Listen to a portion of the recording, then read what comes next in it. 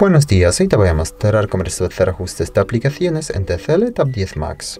Para eso abrimos la aplicación Ajustes y aquí más abajo abrimos la última pestaña Sistema. Luego pulsamos aquí la penúltima opción Restablecer y elegimos la segunda opción Restablecer preferencias mm, Apps y luego confirmamos aquí a la derecha y esto, los ajustes ya están restablecidos. Muchas gracias por ver el vídeo, te invito a comentar y abajo y suscribirte al canal. Hasta luego.